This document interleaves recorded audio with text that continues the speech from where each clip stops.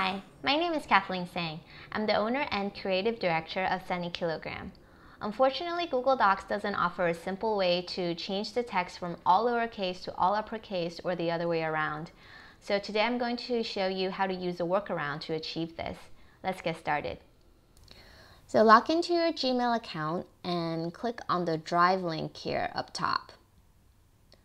Alternatively, you can also just type drive.google.com into your browser and you'll get to the same place. And what I have here is a document that I created earlier. Let's take a look. And it's unfortunately in all caps. So let's attempt to make it all lowercase. So I'm going to check this document and go up to the More button here. And in the drop down, I'm going to select Download. And I'm going to download this file as a Microsoft Word file.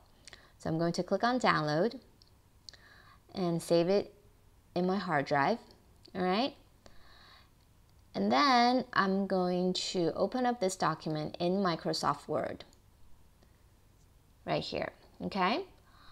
And to make this all lowercase in Microsoft Word is really easy. I'm going to select all the text and then go up here to Format, Change Case, and the second one here is lowercase, and then click on OK. And there we go. It's all in lowercase now. And I'm going to go ahead and save this file. And let's go back to our Google Drive here. And this time, let's click on this upload button. It's right next to create. Click on that and choose files. And this is the file that we just changed from all caps to lowercase, okay? And let's click on open.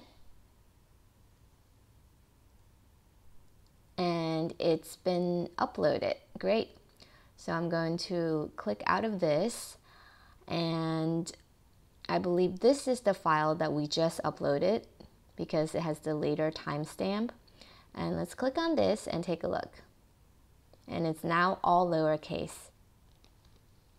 I know that wasn't the most elegant way to achieve what we wanted, but that's probably one of the better solutions out there. You can also alternatively just go into the document and change each letter one by one, but I think that's actually more time consuming. Thanks for watching. I'm Cathleen Tseng. Until next time, take care.